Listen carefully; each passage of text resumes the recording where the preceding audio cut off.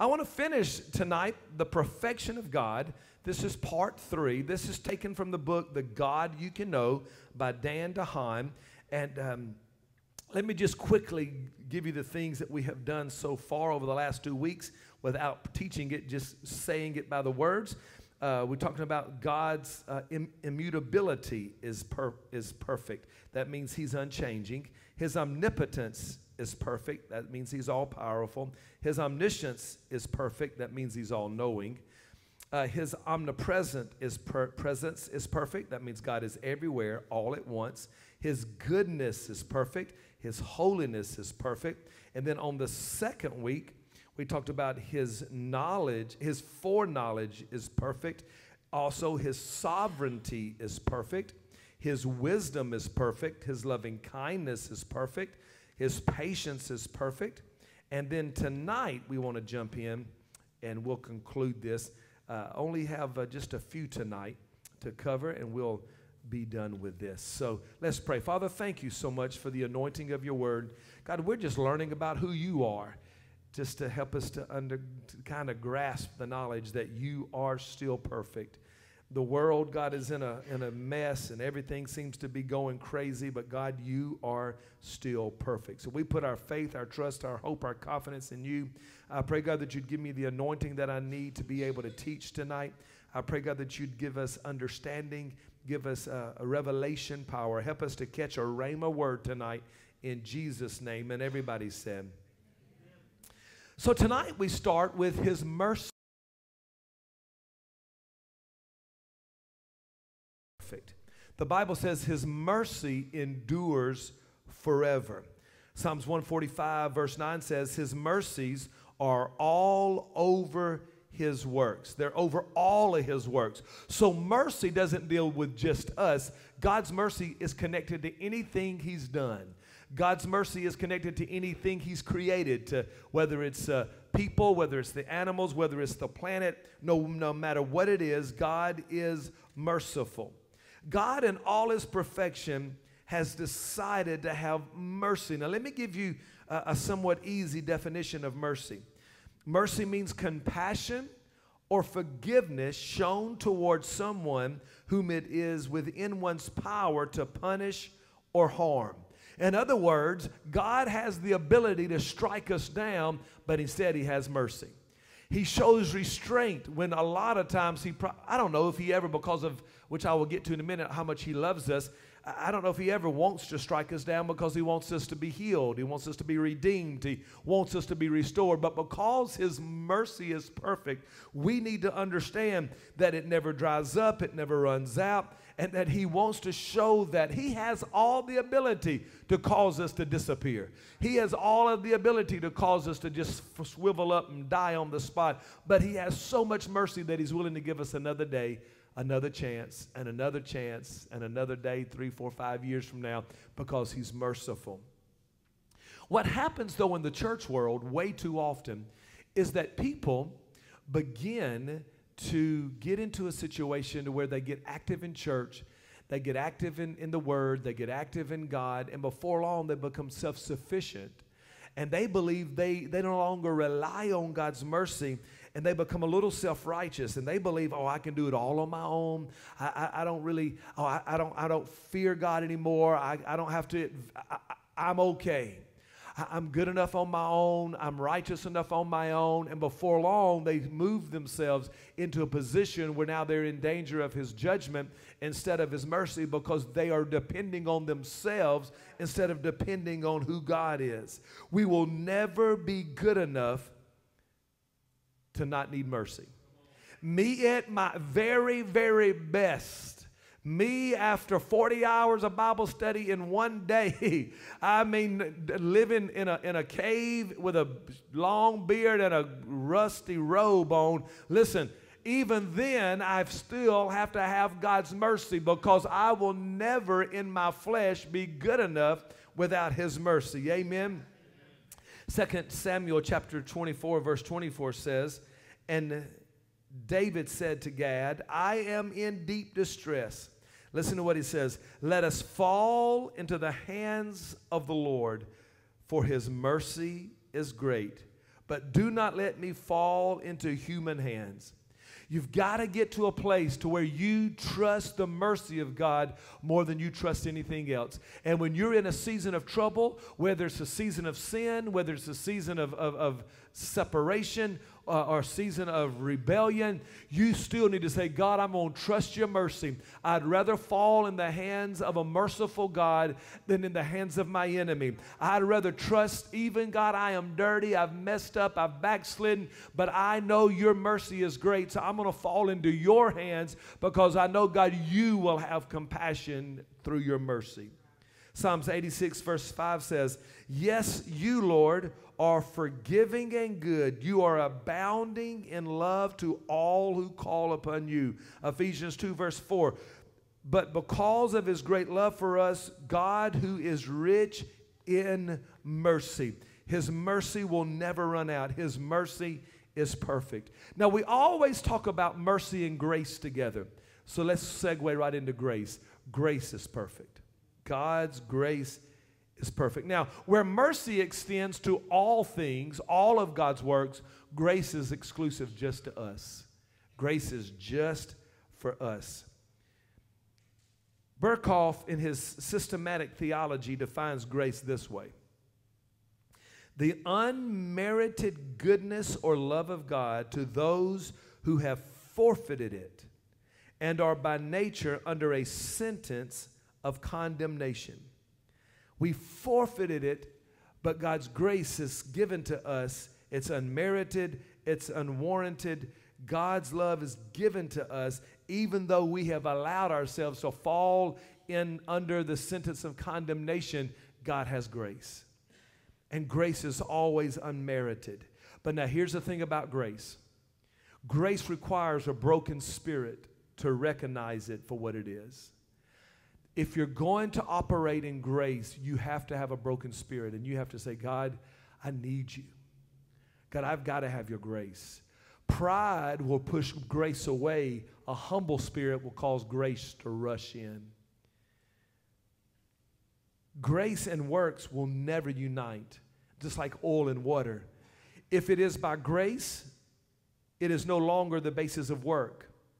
Because if it's otherwise based on work, then grace is no longer needed. And we have to remember Romans 3:24 being justified freely by his grace. Justified means I'm declared perfect before God. It is grace, not my works. As I said, no matter how good enough I am, I will never be good enough not to need mercy. But no matter how much I work, I will still need grace because I will never be able to work myself enough to be able to give me what God's grace gives me. I will never be able to earn with all of my work what God's grace gives me freely. Thank God for His grace.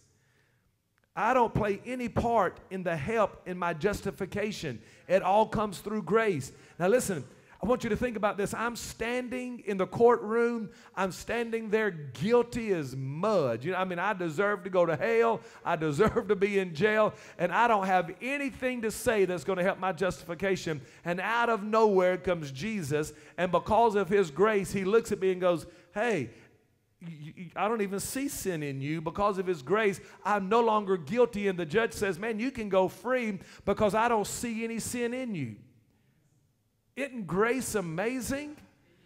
And I, and I didn't do anything to deserve that except for a merciful God who is perfect and a God that's grace is perfect. And no matter how big my sin, in, sin is, no matter how awful my sin is, God still is able to allow grace to remove it. Grace demands a walk of humble devotion. Because when you get grace, and let me read you this sentence or this question straight from the book. Can you know grace and walk without concern for God? Can you know grace and walk without concern for God? In other words, don't you realize what God has done for you through grace? Don't you realize we deserve to be in hell? We deserve to be bound. We deserve to be broken.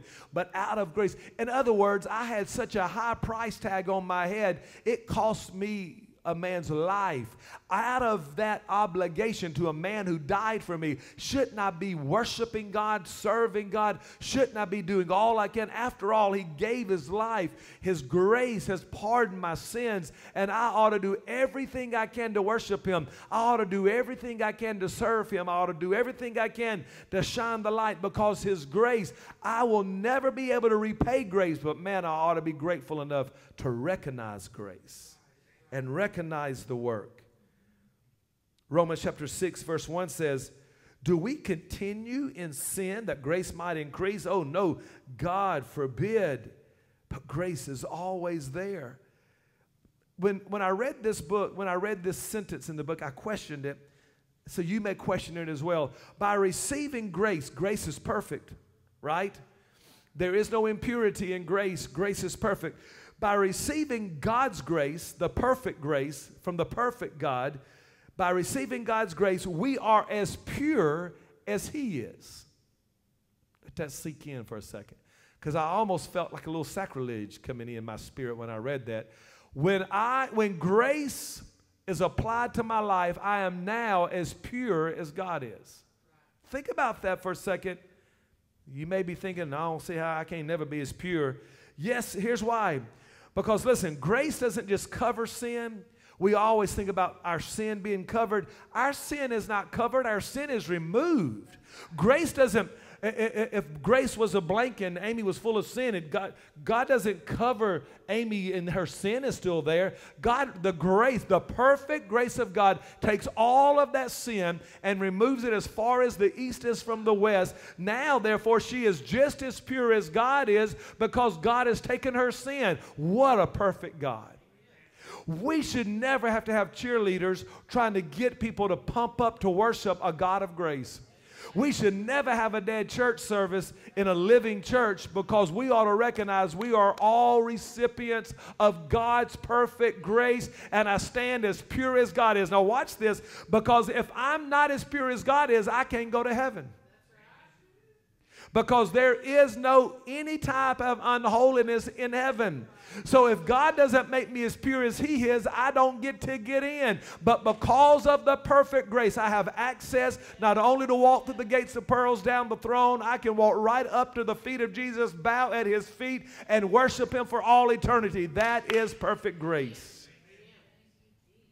Thank God by grace I am saved price tag on my life is too great for me to shug or just shake off wrongdoing. Listen, oh, it don't matter if I do this. What? Grace? The price of grace? What do you mean it doesn't matter if you do this? God loved you so much that He sent His only begotten Son so that you could be a recipient of grace. What does it mean it doesn't matter if you say that? Or do that or go there. It matters because Jesus gave his life so that you could be saved. His mercy is perfect, his grace is perfect, his love is perfect. As we near the, the end of this conversation on the perfection of God, we must not leave behind the love of God. God not only gives us love, He is love itself. His love is not just another characteristic that we find among men.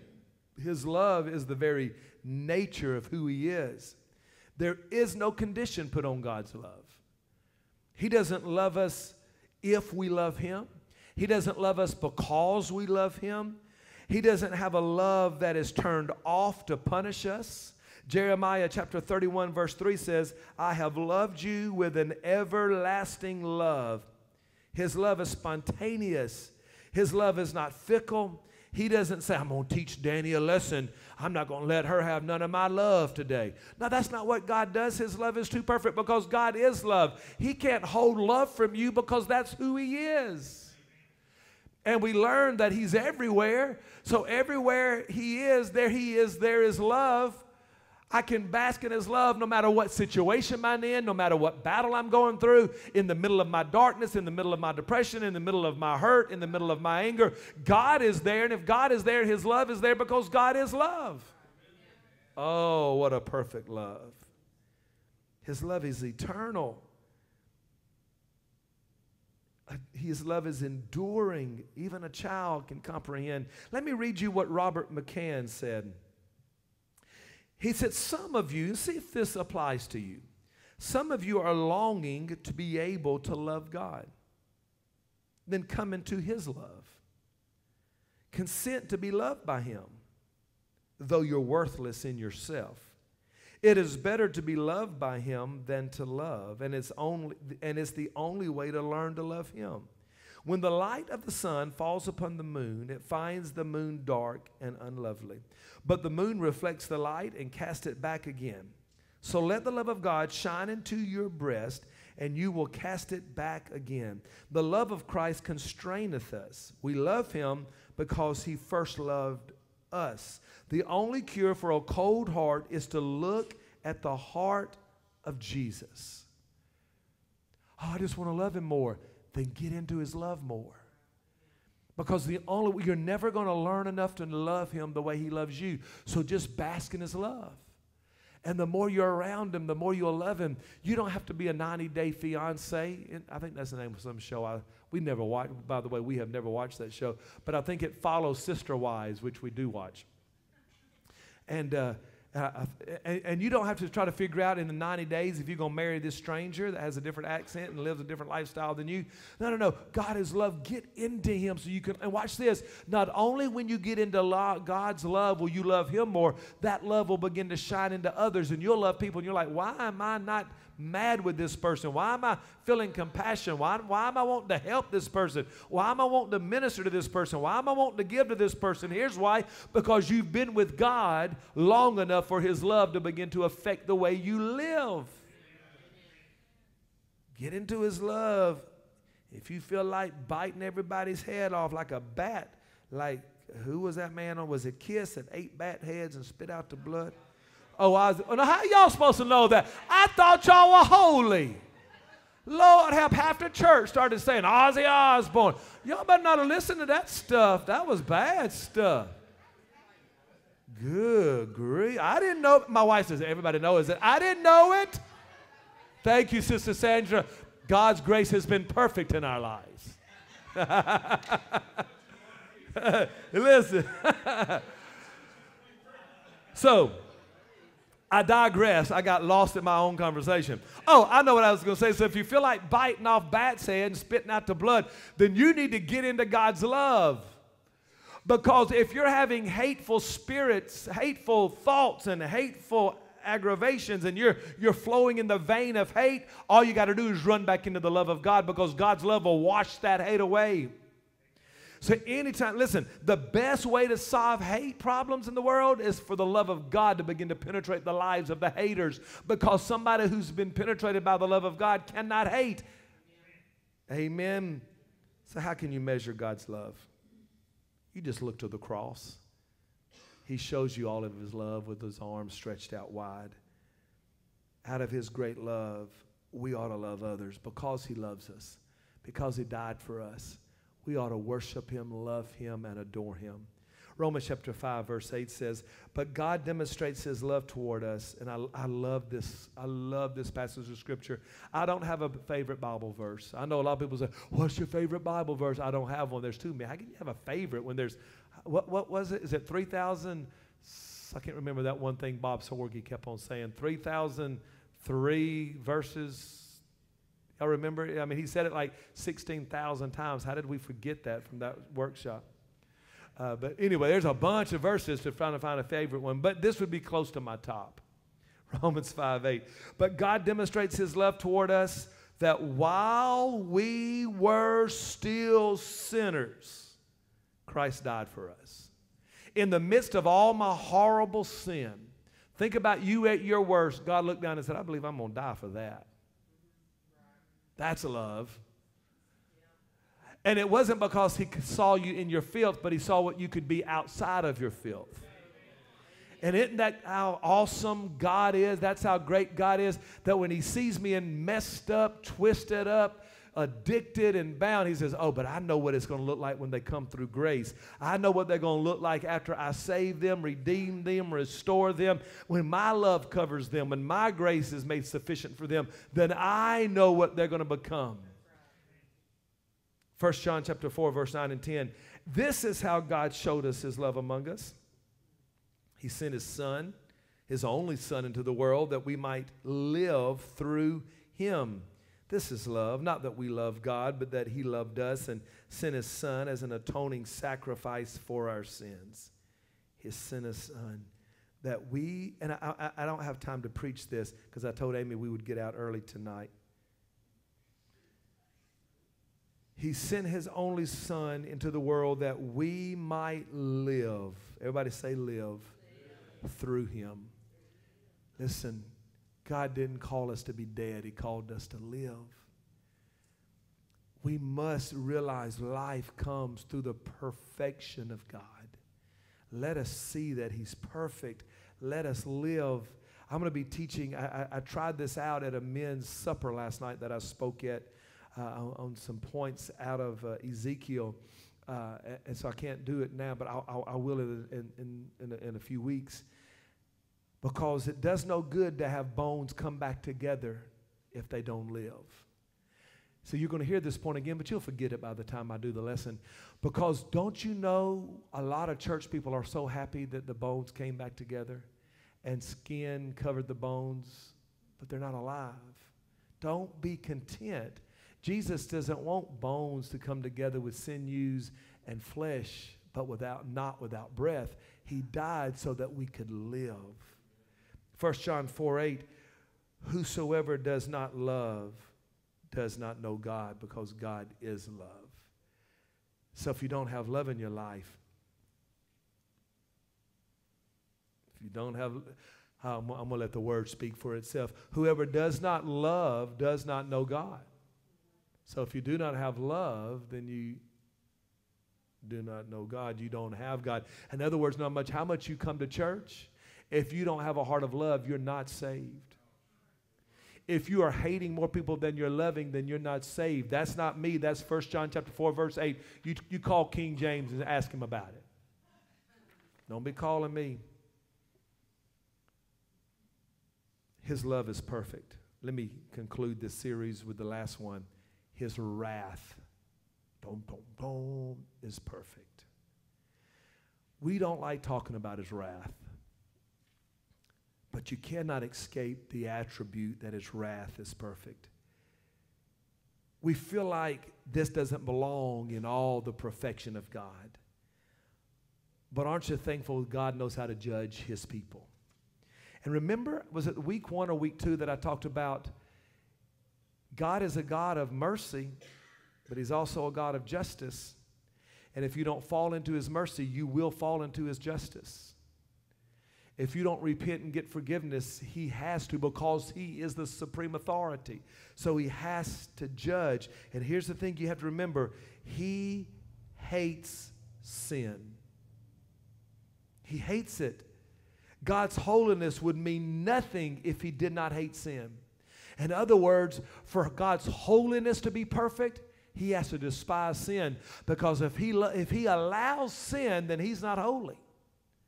So, in order for us to, don't ever forget, God hates sin. And wrath is holiness. Oh, this is a this is Dan DeHaan. This ain't Pastor Chris, but it's a great sentence. Wrath is holiness stirred into activity. Wrath is holiness stirred into activity. You have to understand because of his holiness, he will deal with sin. There will come a day when he will tell people, Get away from me. I do not know you. You are a worker of iniquity. And they will be sent to a hell's fire that will never be quenched. And that's not a place reserved just for the devil, it's for those who do not put their faith in Jesus Christ. Those who have sin in their life because you cannot have sin into heaven.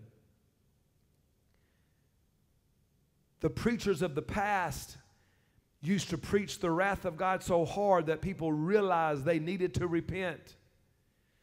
The old preachers of the past preached hellfire and brimstone, not to, well, maybe to scare people, but to give people the reality that God hates sin and there's a hell waiting for sinners. And now, and, and, and I guess I'm guilty of this too, we, ha- we have been conditioned over the last 50, 60, 70, 100 years to be able to preach all these things that will make people feel uh, like they're growing and feel like, the, but we have forgotten that God hates sin and that we don't see the wrath of God as serious as it is. You cannot escape His wrath just because you're a good person. His, his grace is not perfect if He allows you to slip by. His wrath, His holiness, His goodness, His love is not perfect if He overlooks your sin. Hebrews chapter 12, verse 29 says, God is a consuming fire. True fear is needed in the hearts of God's children today. A fear so much that would keep us faithful to Him.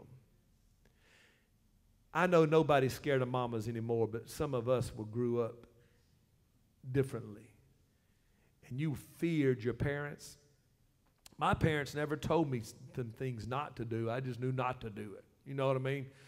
Uh, my dad never told me, "Don't you come home with the earring." I just knew not to come home with an earring, or I wouldn't have it. I don't know if he would. I don't know if he'd have taken my ear off. I don't know what would have happened. I just knew not to do that. You know, I just there are several things I knew not to do. Because of the fear you had, because of the discipline or the wrath of your parents, you didn't cross some borders because you knew not to do that. Will we ever get back to a place to where we fear the wrath of God so much we'll say, oh, I'm, I'm faithful. no, God, I ain't, I ain't getting out this wheel. No, sir, I will not cross over here and walk on that side of the. No, sir, I'm going to live right because I'm so afraid of your wrath. I ain't going to be judged. I ain't going to hell. I ain't missing eternity. I ain't going to go to hell and miss out being with you for eternity. I no, God, I ain't doing it. Are we, do we recognize the perfection of God's wrath enough to where it will cause you to walk holy? Mm. Now, yes, of course, His love overcomes wrath a lot. But no man in his right mind wants to pit one against the other. God is angry with the wicked every day, says Psalms 11, Psalm 7, verse 11. 2 Corinthians chapter 5, verse 11 says, knowing the fear, King James says, knowing the terror of the Lord, we persuaded men. That's what the preachers of the old day used to do. Out of the fear of God's wrath, they were able to persuade men to believe. How can me talking, ending this wonderful series on the wrath of God, be comforting to us? Here's why. Because every day I can count on being moved toward obedience to God by knowing His authority and His wrath. It's helping me, not hurting me. God will never disregard sin. We as parents, and maybe I'll only speak for me and Amy because y'all might be a lot better parents than we are. We will look the other way a lot. Y'all ever look the other way? Act like we didn't see them do something bad. God doesn't look the other way.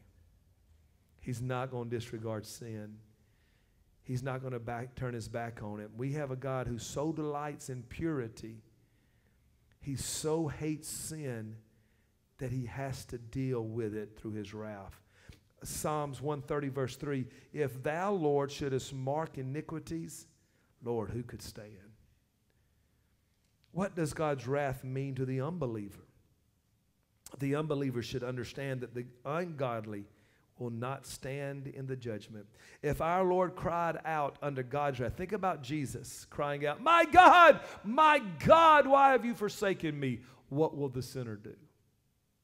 If, if Jesus in his perfection, howbeit carrying the weight of our sin, cried out in the agony, what will we do if we miss God? Let me read you some scripture and I'll close tonight. Romans chapter 1, verse 18 says, For the wrath of God is revealed from heaven against all ungodliness and unrighteousness of men, who by their unrighteousness suppresses the truth. By their unrighteousness, they dam up truth. The wrath of God is revealed against all ungodliness. We just don't preach about wrath much, do we? Ezekiel 25, 17. I will execute great vengeance upon them with furious rebukes. They will know that I'm the Lord when I shall lay my vengeance upon them. Nahum chapter 1, verse 2 through 6. God is jealous, and the Lord revengeth. The Lord revengeth and is furious. The Lord will take vengeance on his adversaries, and he reserveth wrath for his enemies. I don't want to be an enemy, I want to be a child. Why would we, in the day we're living in, miss the perfection of mercy and grace and have to deal with wrath? The greatest thing about me is not anything other than I have walked through the perfect mercy and the perfect grace, and I can escape the perfect wrath. I don't want to fall in the hands of an angry God. I want to know that God is for me and not against me.